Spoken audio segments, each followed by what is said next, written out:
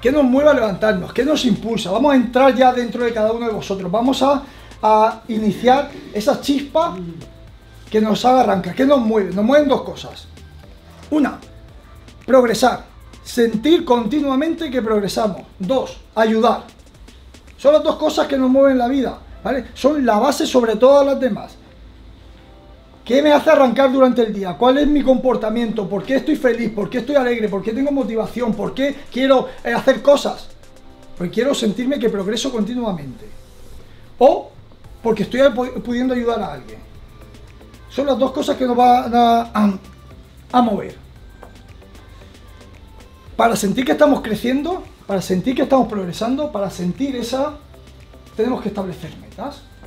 Tenemos que tener motivos y sueños por los que movernos. Si no tenemos sueños, si no tenemos motivos, estaremos en el sitio.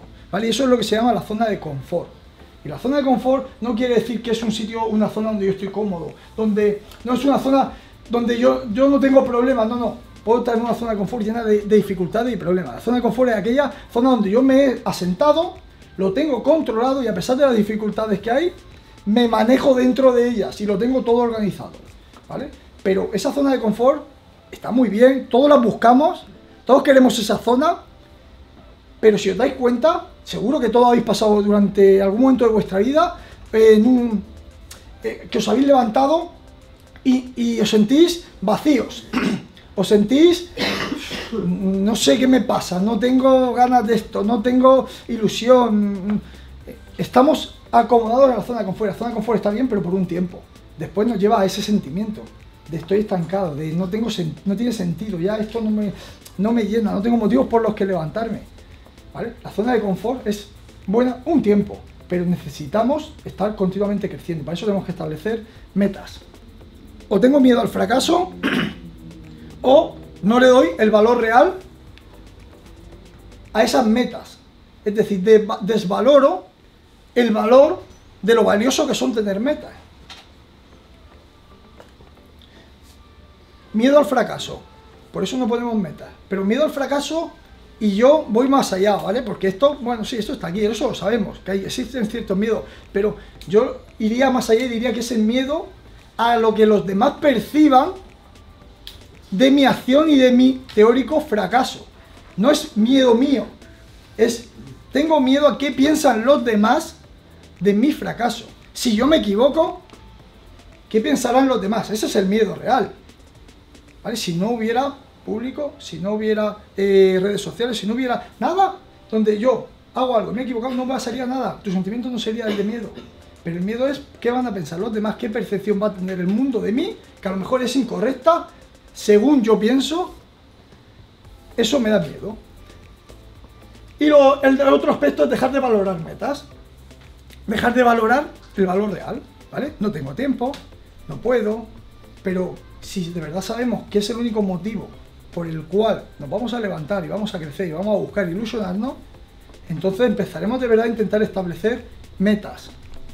Yo os, os propongo y os pregunto una cosa, es decir, dejamos de establecer metas, dejamos de buscar cosas que nos hagan crecer y sentirnos con chispa pensando en que no tenemos tiempo, en que tengo que hacer esto, tengo que dedicarle a los niños, tengo que ir al trabajo, tenemos reuniones, viajes, no sé qué, muy bien. Pero, ¿cómo te sientes tú por dentro? Es decir, eh, ¿qué vaso eres tú? Podemos ser el primer vaso, un vaso vacío. Puedo sentirme así. Mi vida es cumplimiento, solo trabajo, casa, casa, trabajo, reunión, trabajo, casa, reunión, trabajo y esperando ese día tan ansiado, tan ansiado, tan ansiado, donde no tenga nada, para desconectar del mundo. Podemos ser ese. Podemos ser el vaso medio lleno, donde empiezo a establecer prioridades en mi vida y empiezo a llenarme yo.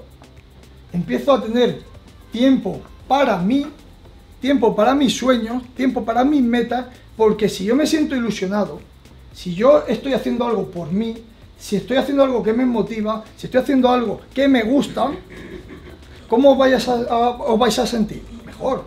Me voy a sentir mejor, voy a estar más alegre, con lo cual vuestro tiempo que vais a ofrecer a los demás, podréis ofrecer la mitad del vaso de agua.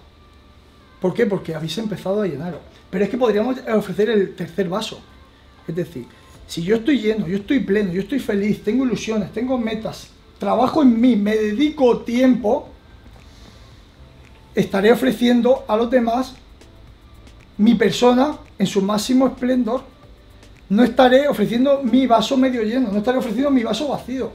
¿Cuántas veces lo hemos escuchado? Es que yo no tengo tiempo de entrenar porque tengo que acudir a esto, a lo otro, a lo otro, a lo otro. Muy bien. Y el carácter, carácter irascible, cabreado, para acá. Eh, ¿Qué estoy ofreciendo a los demás? Bueno, sí, todo el tiempo del mundo, pero es que no tengo nada que ofrecer. No tengo nada. Ahora, si yo empiezo a dedicar un poquito de ese tiempo a mí, ya tendré algo que ofrecer, con lo cual la gente, las personas, la familia, todo lo que nos rodea, todo lo que queremos ayudar, uno de los motivos que había, nos van a hacer que tengamos algo que aportarle. Pero es que si todavía me dedico más tiempo y empiezo a establecer orden de prioridades. De mis tareas, de mis acciones, de mis metas, pues podré ofrecer mucho más de mí. Entonces no es un acto egoísta dedicarse tiempo, buscar el hueco, sacar el momento, sino es un, acto de lo más altruista posible, porque quiero darle lo mejor. Para eso me tengo que dedicar tiempo. Tengo que trabajar en mí, tengo que tener ilusiones, tengo que tener metas, tengo que hacer actividades de ocio que me llenen. Eso es lo que, lo que intento transmitiros con eso. Bien, en dos minutos solo, quiero que entréis dentro de vosotros, tenéis papelito y quiero que me escribáis. Esto es algo que me gusta hacer en todos mis seminarios porque me gusta que conectéis con vosotros. Me gusta que entréis dentro y que tengáis metas. Primero, no hay sueños tontos. No vamos a hacer criticados ni juzgados, ni vosotros a uno ni uno a vosotros.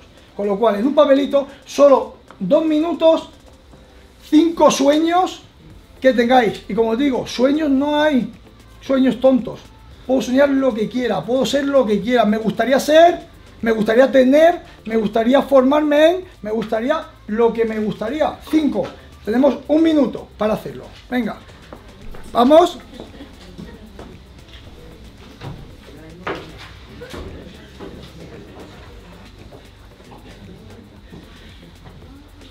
Vale, ya. Boli fuera.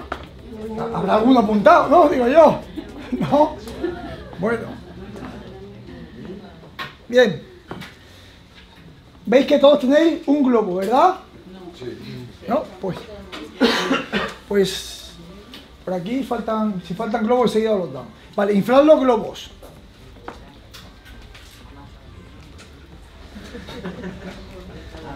Venga. Capacidad pulmonar. No hace falta que sea muy grande, ¿eh? Un poquito solo. Ahora tenéis una lista de cinco, de cinco metas o cinco sueños, ¿verdad? Bien, pues quiero que vosotros valoréis los cinco que habéis puesto, valorar los cinco que habéis puesto y el más importante, escribirlo sin pinchar el globo, ¿vale? Intentar escribirlo en el globo.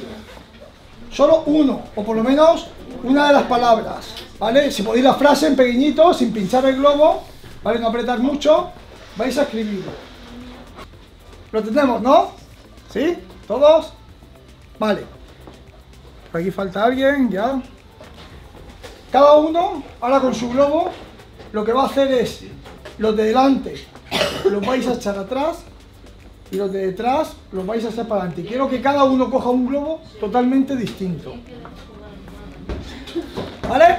Venga, cada uno coja el globo que le venga y cada uno se quede con uno diferente. Podéis levantaros y cogerlo, ¿vale? Podéis levantar y cogerlo que Aquellos que no tengan globo. Vale, ya está. Bien. ¿Alguien? ¿Quién lee el que tiene puesto en el globo? ¿Alguien que lea el primero? Tú, vale. Aquí me pone terminar mis estudios. Perfecto. Otro que me lea el que pone su globo en el que lo ha cogido. Ser feliz. Ser feliz. Vivir deporte. Vivir deportes. Ser campeona del mundo. Ser campeona del mundo. 300 kilos en peso muerto. 300 kilos en peso muerto. Eso es un chamaco, ¿eh? ¿Perdón? Eso es un chamaco. No sentirme débil ante los demás. Muy profundo. Más, ¿qué pone por aquí? Hijos. hijos. Muy bien, vale. ¿Por qué quiero hacer esto? ¿Por qué me gusta hacer esto? Porque quería entrar en vosotros sin, sin pensar que voy a ser criticado, juzgado o, la vergüenza de poder decirlo. Por eso el escribirlo en un globo, el más importante que tenéis, no hay sueños tontos, no hay sueños pequeños, puedo ser lo que quiera, ¿vale? Tengo que tener una meta y al dárselo a otra persona, ¿vale? Nos permite que lo puedan decir sin sentirnos que todo el mundo estamos siendo observados. Por eso era mi intención que simplemente entréis dentro de vosotros, que conectéis con esas metas, con eso que tenéis ahí guardado, con eso que está ahí oculto, que vivimos día a día, que solo es me levanto, voy al trabajo, entreno, eh, hago esto, voy a la compra y duermo. Me levanto, hago esto, esto y esto y esto, pero no sabemos dónde vamos, no tengo sueños, no, no sé hacia dónde me dirijo, estoy metido en el día a día. Necesito parar un segundo, y si este seminario vale para eso, para parar un segundo y tener un momento donde decir, pero ¿y qué quiero yo? ¿Esto es lo que yo quiero de verdad en mi día a día? ¿Esta es mi vida? ¿O quiero ir un poco más allá? Pues esa es la intención de que conectéis para que a partir de aquí trabajéis vosotros en eso que habéis escrito. Que aunque parece algo insignificante, los habéis pensado, lo habéis procesado, ha salido, lo habéis escrito y lo habéis vuelto a retroalimentar. A través de la visión llega, se percibe en el lóbulo occipital y nos genera unos sentimientos, unas emociones y un cambio hormonal. Y aunque parece que no, todo aquello que está siendo escrito vuelve a percibirse. ¿vale? Entonces, quería que fuerais conscientes de eso. Establece tus metas, ya las tenemos. Quiero ser campeona del mundo. Muy bien. Tenemos aquí, que ahora nos contará cómo lo ha hecho ella. Tengo una meta. Y ahora lo que tengo que hacer y lo que yo os propongo es que una vez que yo tengo una meta, voy a caminar hacia atrás. Es decir, ¿dónde quiero llegar? Allí. Vale, pues ya sé dónde quiero llegar. Ahora, de allí voy a ir paso a paso hacia atrás, hacia atrás, hacia atrás, hacia atrás, hasta llegar al día de hoy. Porque voy estableciendo puntos intermedios, cosas que necesito, caminos que tengo que ir tomando hasta llegar a eso. Es decir, quiero ser médico, bien, necesito hacer una residencia, antes de una residencia necesito haber hecho el trabajo de fin de carrera, antes necesito haber aprobado, antes necesito matricularme en la universidad, antes necesito tener un graduado, ta, ta, ta, hasta el día de hoy. Y ya tengo el camino. Y tengo los puntos intermedios. ¿Y qué necesito? Es decir, tengo el camino y la estrategia. Porque ya sé dónde tengo que ir pasando. Ahora tengo que iniciarme en ello, pero ya sé una, tengo una dirección. Si tenemos la meta y no sabemos cómo llegar, estamos perdidos, vamos corriendo a todos lados y no la vamos a conseguir. Necesito tener la dirección. ¿Vale? Caminamos desde la meta hacia atrás. Y algo súper importante. ¿Cuál es la clave para poder conseguir esa meta? El desapego al resultado. Para mí es esa clave. Si resuena en vosotros, será genial. ¿Por qué? ¿Y qué es el desapego al resultado? Yo ya sé dónde quiero llegar. Ya tengo el camino trazado. Ahora, estoy en el día de hoy. Lo que yo no puedo estar cada día es generándome la presión, la prisa, la necesidad de conseguir ese resultado. Si yo ya sé dónde voy, si ya lo sé, lo tengo claro, lo he escrito cada día, lo tengo escrito, lo sé muy claro, hemos tardado un minuto en saberlo y en escribirlo en un papel, es decir, está interiorizado, sé lo que quiero, sé dónde voy a ir, pero tengo que desapegarme del resultado, es decir, tengo la meta, tengo el camino y a partir de aquí tengo que focalizarme en hoy, hoy. ¿Eso quiere decir que me da igual el resultado? No, desapego al resultado no es me da igual el resultado. Desapego al resultado significa que voy a hacer todo lo posible hoy por hacer lo mejor, eh, buscar las mejores opciones para conseguir esa meta. Pero hoy, aquí, ahora, en este momento, ¿vale? ¿Cómo se traduce eso? Y lo vais a entender todo muy fácil en un entrenamiento. 16 series de pierna. Un grupo muscular, bíceps, pecho, me da igual, el que sea. Vemos el entrenamiento, series, repeticiones, uff. Y empezamos con el primer ejercicio. Y nos ponemos en una sentadilla, en una prensa, el que queráis elegir. ¿Vale? Y tenemos 6 series. 15 repeticiones, 20, da igual el número. Y llegamos a la primera serie y dice, uy, si es que todavía son 20 series el entrenamiento de hoy ponle, ponle esta carga ponerle este peso, pero es que todavía me queda mucho entrenamiento. Y llega la segunda serie, uff, es que estoy muy cansado, pero es que todavía me quedan dos horas, hora y media de entrenamiento. ¿Qué estamos haciendo? Estamos poniendo nuestra atención en el futuro, en cuando acabe el entrenamiento, cuando acabe el entrenamiento, cuando acabe el entrenamiento. Pero me estoy dejando por el camino, serie a serie, un 20, un 30, un 40% sin hacer desde mis posibilidades, porque me estoy reservando.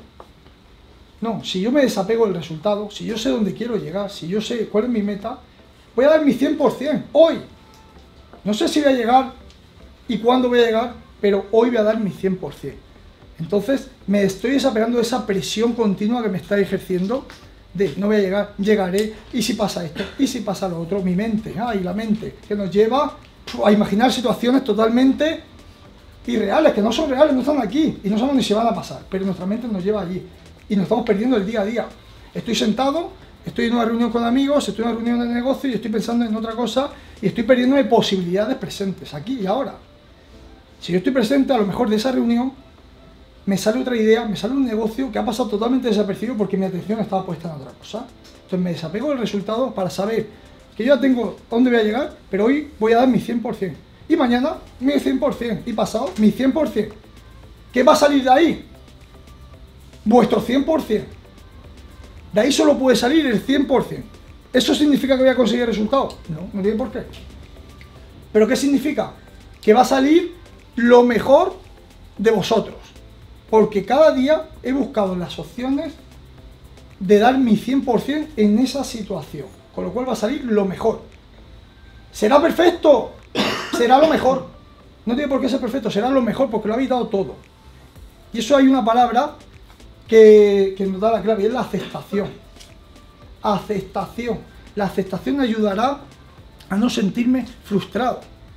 ¿Por qué?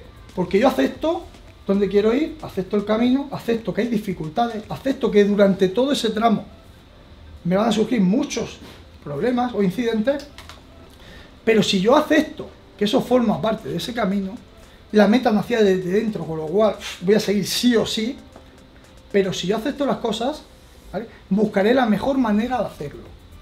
¿Es perfecto? No. ¿Es lo fisiológicamente mejor según? No. Es lo mejor que puedo hacerlo en estas circunstancias. Y eso es lo que intento transmitir en muchas, eh, a, mi, a mis alumnos, eh, a, mis clientes. Es decir, las circunstancias no tienen por qué ser perfectas. ¿Significa que, que, tengo la meta, que tengo las condiciones y que puedo conseguir el éxito? No tiene por qué. Significa que saldrá lo mejor de ti, porque has aceptado que tus circunstancias son así, así, económicas, laborales, de tiempo, familiares, de discusiones, son tus circunstancias. No generemos posibilidades futuras y si, es que y si tuviera, y si hiciera, y si... No, el y si no existe. Estas son mis circunstancias y ante estas circunstancias, ¿qué hago? ¿Os acordáis de la serie esta de, de MacGyver? ¿La conocéis? Que es con un palo y con un chicle, ¿qué puedo hacer de esto? Pues voy a hacer la mejor herramienta posible. No sé lo que va a salir, pero voy a hacer lo mejor posible. Porque no tengo otra cosa. Y si tuviera un martillo, y si tuviera esto, y si, y si, y si me puedo tirar todo el día en el easy, pero no son mis circunstancias, ni las del otro. Las mías son mías personales. Mi forma de, entender el, día, mi trabajo, mi estrés, mi pareja, mi tiempo, mis hijos, todo. Eso lo que, a partir de ahí, ¿qué puedes hacer? Lo mejor posible, hazlo. Va a salir lo mejor. ¿Ganará? No lo sabemos. ¿Será perfecto? Pues no lo sabemos, pero va a ser lo mejor.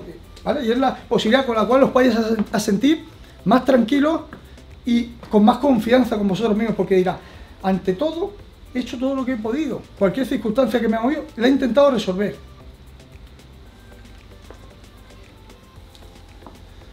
El compromiso. ¿vale? Para eso necesitamos ese compromiso. Ese compromiso nacía y nace desde la pasión, si no es pasión de compromiso. Pero es que la pasión, ¿de dónde nace? Desde que una meta, un sueño es interno no es externo, no son redes sociales, no quiero dar una imagen, no quiero mostrarme al mundo, no lo hago por la playa, por el verano o por el vecino, lo hago por mí, lo he elegido yo, me ilusiona. Incluso en esa elección llevaréis críticas, pero si nace de ti, seguirás. Si nace de un motivo externo, pararás. ¿Cuántos habéis decidido poner una alimentación eh, a controlarla eh, ¿por haces esto? ¿O habéis decidido entrenar? Eh, ¿Estás obsesionado? Eh, ¿Parece que no puedes comer otra cosa? Críticas, críticas, críticas, críticas, pero es vuestro propio camino, vuestro propio sueño, seguidlo. Porque nace de dentro. El momento que salieras de fuera, ante la primera crítica social, ante el primer evento donde tenéis una crítica social por llevar un plan de alimentación diferente, porque si fuera intolerante no habría problema. Pero es que es una lección, con lo cual eh, os van a criticar. Ante esa crítica, si nace de dentro, la escucharéis, pero seguiréis vuestro camino.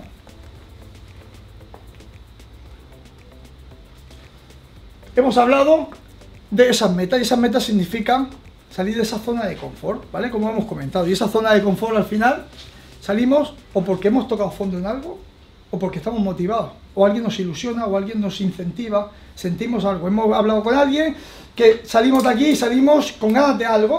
¿Por qué? Porque ha habido alguien, dos personas, tres personas que estamos aquí que os hemos transmitido algo. Salgo con ilusión, con ganas, quiero ponerme, quiero iniciarme, quiero- tengo nuevos proyectos.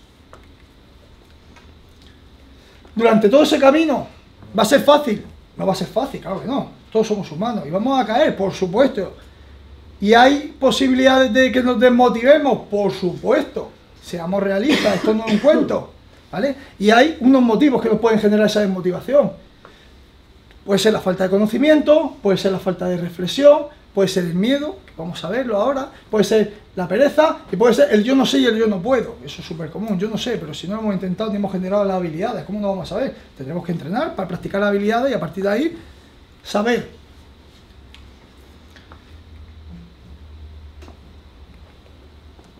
El miedo, uno de los motivos que nos pueden llevar a parar. Y como he dicho, ya no solo es miedo, sino es el sentimiento que tiene, la sensación que tiene nuestro ego de qué percepción tienen los demás sobre nuestro fallo y nuestro error, teórico error. En otros países los errores y las equivocaciones se premian, sobre todo a nivel negocios. Aquí estamos en una cultura donde los errores y, y los fallos y los fracasos se penalizan, ¿vale? Ya desde el sistema educativo. Pero el error es el motivo que podemos corregir, mejorar y crecer. Nos va a dar una experiencia. ¿Por qué ese miedo? El miedo es algo necesario. El miedo es una, emoción que necesitamos. Si no tuviéramos miedo, no estaríamos aquí. Es una reacción que tiene el organismo. ¿vale? Esa reacción nos activa unos procesos fisiológicos. Y ese miedo puede ir también asociado a la presión, al estrés, a cualquier cosa que vamos a ir viendo ahora. ¿Cuáles son esos miedos, de, esos mecanismos que nos produce el miedo? El miedo nos produce lo que llamamos el secuestro, secuestro amigdalino. ¿vale? Tenemos unas estructuras cerebrales, que son los hipocampos, que son, tienen como forma de, de caballito de, mar, esos hipocampos eh, regulan o intervienen en las amígdalas. Las amígdalas se ponen en marcha ante eh, una circunstancia de miedo, es decir, nosotros vamos a cruzar la carretera, nos pasa un coche, nos va a atropellar y generamos el miedo. ¿Vale? Eh, vamos por una calle oscura y, y no escuchamos ruido y tenemos una sensación de miedo. Bien, ese miedo tiene unos cambios en nuestro cuerpo. Unos cambios que lo primero que hace es cambiar nuestra sangre del cerebro.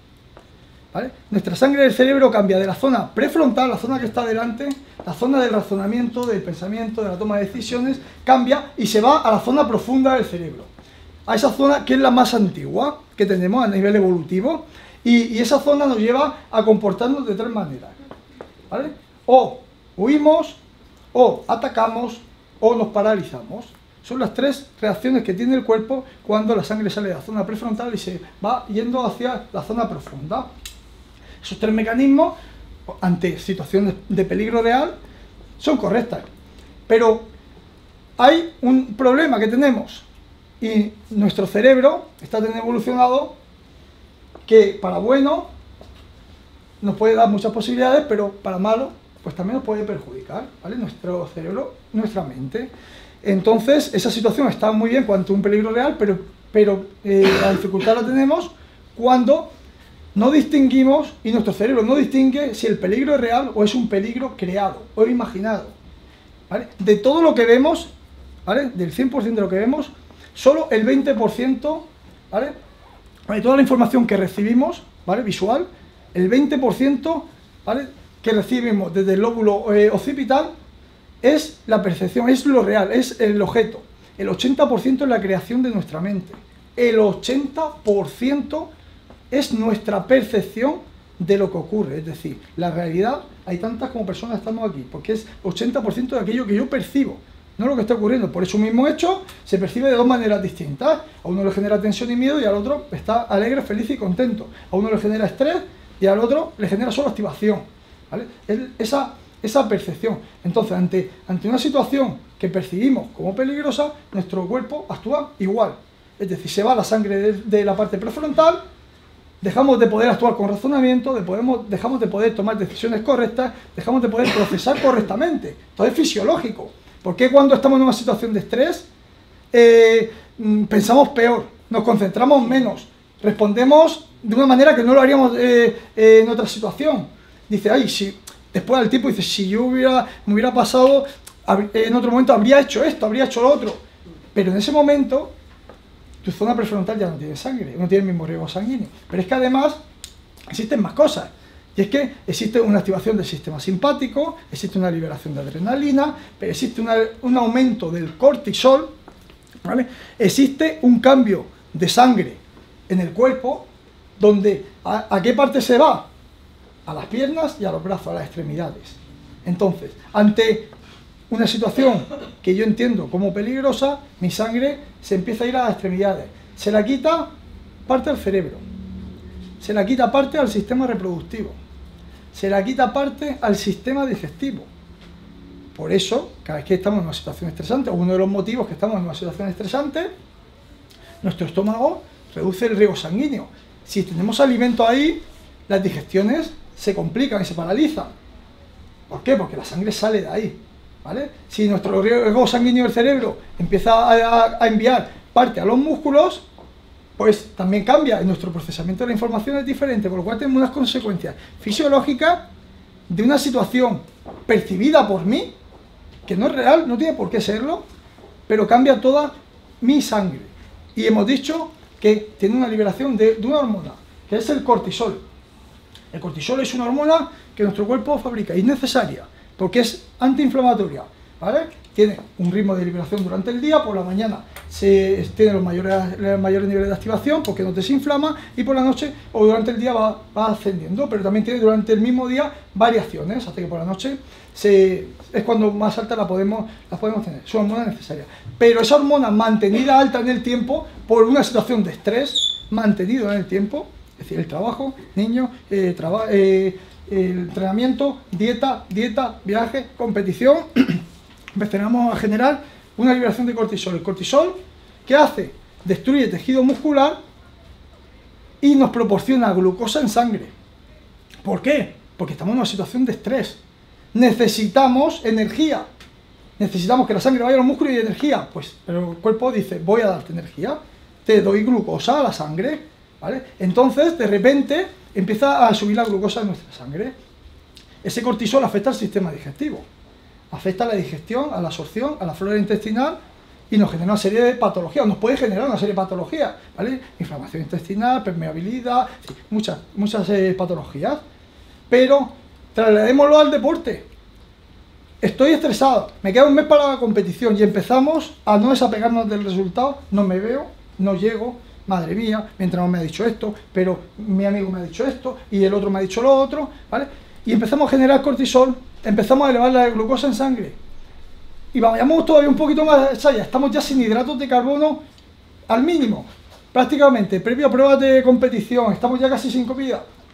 Y tú te haces una analítica y tu glucosa sale disparada. dices tú, ¿cómo? Si estoy en una dieta que intento entrar en cetosis, si intento no llevar hidratos, pero claro, no me estoy viendo, no me estoy viendo, no me estoy viendo, pero es que tú haces una analítica y tu glucosa está por las nubes. Si no tomo glucosa y no tomo hidratos de carbono, ¿cómo va a estar? Bueno, ya se encarga tu propio cuerpo de estar enviando esa glucosa a sangre. Es decir, tanto trabajo que llevas detrás lo estás rompiendo por un procesamiento de la información que te está elevando la glucosa. Picos de insulina, previo a la competición, cortisol alto que también nos va a afectar a la aldosterona, nos va a afectar a la retención, nos va a afectar al acúmulo de grasas en la zona abdominal Es decir, ¿por qué no avanzo en la última semana? ¿Por qué no llego? ¿Por qué cada vez estoy peor? ¿Y cómo menos? Me han puesto más cardio, más cardio, más cortisol. ¿Cómo menos? Más cortisol. me estreso, no llego, le pregunto a uno, me dice una cosa, le pregunto a otro, me dice otra, me encuentro como la mujer. ¿Qué hago? Y mi cortisol cada vez más alto, más alto. Entonces, súper importante, ¿vale? Cómo afecta nuestro estado físico real a ese estrés que estamos generando. Y todo seguro que lo habéis podido comprobar, que terminéis de competir o incluso a lo mejor hasta no llegáis porque no estáis viendo, habéis entrado en ese bucle negativo, que no salís de ese procesamiento de la información y nada más terminar, de repente drena. Sale el agua, os sentís tranquilo, os veis mejor, el hidrato entra, el estómago se ha vaciado, ya no hay malas digestiones. Entonces, pues todo eso viene de, ese mismo miedo, de ese mismo estrés, de esa misma tensión que vamos generando. Entonces, súper importante. La dieta, sí. El entrenamiento, sí. Pero cómo estoy procesando mi día a día, cómo me acompañan las personas, eh, mi entrenador, mi guía, el, si las personas que tengáis alrededor, cómo me están ayudando a procesar toda esa información para que al final yo me haya desapegado del resultado y solo me dedique a cumplir mi 100% y hacer lo mejor posible cada uno de los días. La segunda fase del, del ciclo menstrual. ¿vale? Imaginemos que se activa durante la, la fase lútea. Es decir, la fase lútea donde el estrógeno ya empieza a bajar, la progesterona comienza a subir y el, el cuerpo de la mujer es menos sensible a los hidratos de carbono. Es decir, tenemos fases, la alimentación ir ajustada al, según el ciclo, menstrual, ¿vale? Pues digamos que esa liberación de glucosa por miedo, estrés, pensamientos, se produce durante la segunda, la segunda fase del ciclo menstrual, donde es menos sensible. ¿Qué pasa? Que en una fase donde a lo mejor la alimentación debería estar un poquito más baja en hidratos de carbono, nuestro propio cuerpo ya se está encargando de subirla. Pero imaginaros que se generan todos esos problemas estomacales, ¿vale? O esa afección al sistema digestivo por la liberación de, eh, esas hormonas a través del miedo en la fase premenstrual, es decir, justo cuando ya empezamos a sentir molestias, inflamaciones y dolores, o justo cuando estamos empezando a retenernos. Sabemos que hay ciertos días donde todavía la retención es mayor. Imaginaros ese kilo, dos kilos que podemos generar de retención. Esos días sumado al proceso de estrés, al proceso del miedo continuo, al proceso de estar liberando glucosa continuamente, pues todavía se multiplican mucho más esos efectos. Aparte, tenemos ciertos neurotransmisores en el sistema digestivo. Es decir, el 90% de la serotonina está en el sistema digestivo. Si tenemos algo que nos está generando y afectando problemas en el sistema digestivo, la serotonina, nuestra hormona asociada a los estados de ánimo de bienestar, se verá afectada. Pero es que no solo tenemos esa, por ejemplo, tenemos la dopamina, la hormona asociada a la motivación, a las ganas, es que se puede ver afectada. Pero es que la dopamina tiene una relación con la prolastina. Entonces, si nosotros tenemos la dopamina alta, la prolastina posiblemente vamos a tener los niveles correctos.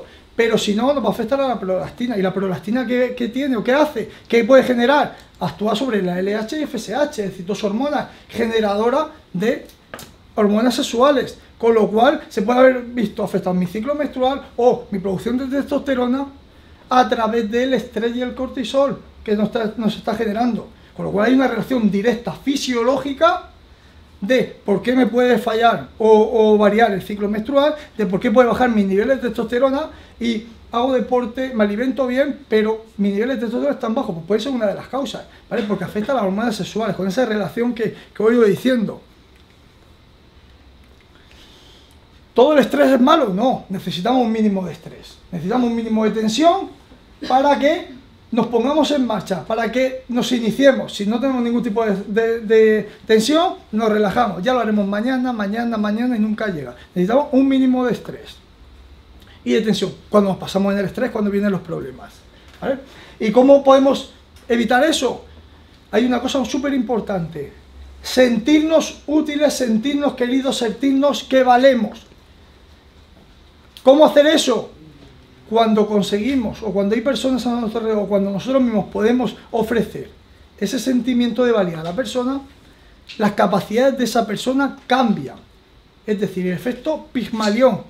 Si yo pienso y te trato y actúo como que tú eres capaz de, tú serás capaz de. Porque te iniciarás, tendrás unos motivos, te sentirás arropado, te sentirás querido. Somos seres que necesitamos la relación social, ¿vale? No podemos sentirnos aislados. Cuando nos sentimos acompañados, cuando nos sentimos queridos, cuando nos sentimos, nos hacen creer que podemos, incluso aún no creyendo nosotros, eh, nosotros mismos, generamos muchas posibilidades de éxito. Con esto es la parte que yo finalizo. Espero que os haya podido sumar y aportar un poquito, una chispa, algo que os despierte el salir con ganas. Y voy a dar paso a Ana Soroquina, que nos va a contar un poquito parte de, todo un proceso que ha llevado, del estrés que le ha podido generar, de los miedos que ha podido enfrentarse. Es, la, como os he dicho antes, la actual campeona del mundo. Hace muy poquito tenemos un pequeño currículum de todo lo que ha podido llevar en el poquito tiempo que está en el mundo deportivo de competición. El año pasado ya quedó campeona de regional, campeona de España, y, bueno, y este año pues lleva un montón de internacionales seguidos ganados, eh, campeonato de Europa, sexta, clasificada, quinta en el Arno, tres campeonatos absolutos ganados internacionales, es decir, ganando toda, todas las campeonas de todas las categorías y por último finalizó hace un par de semanas siendo campeona del mundo. He querido poner esta imagen para que se pueda ver reflejado que todos tenemos un inicio. Que muchos eh, achacan eh, genética, cuando vemos a alguien de éxito, genética, claro, es que las posibilidades, las condiciones económicas, sí, Ana Soroquina la genética la tiene desde que nació. Pues estaba ahí. Pero hace unos años la genética la tenemos a la izquierda y es la misma genética. Las mismas condiciones que muchos achacan, claro, es que con esa genética yo también lo consigo. Claro, es que con esas condiciones yo también lo consigo. Ahí está. Esa, la genética no ha cambiado. Y ahí la tenemos después. Después o durante el proceso. Porque ese no es ni todavía ni el después. Es decir, algo cambia en ella, algo decide sacarla de su zona de confort busca un motivo, busca unas palancas emocionales, algo que le mueva a que eso que estaba ahí escondido, que esa genética estaba, sacarla a la luz y sacar todas sus posibilidades. Pero es que ella es un reflejo de todos vosotros. Eh, podéis estar así, pero no hablo del físico. Hablo de cualquier cualidad vuestra. Está ahí escondida, está ahí. Viene con vosotros, no la conocéis. No ella no lo sabía. Ella no lo sabía que la tenía. De hecho, las primeras veces que planteamos la competición, pensaba que era una broma. Y dice, yo competir, ¿dónde y cuándo? Pues yo, yo no. Pero estaba, ella no conocía sus posibilidades. Solo había que hacérselas ver. ¿Vale? Aquí tenéis algunas fotos, las del año pasado, ¿vale? Y estas finales donde estaba, donde hace un par de semanas, como digo, le daban ya el campeonato del mundo. ¿Vale? Vamos a darle paso para que nos cuente un poquito su experiencia y cómo esa chica que tenía esas condiciones, las mismas que tiene ahora, ha sacado todo eso a la luz y ha sido ella misma como es. ¿vale? Vamos a darle un aplauso a Ana Sorrentino.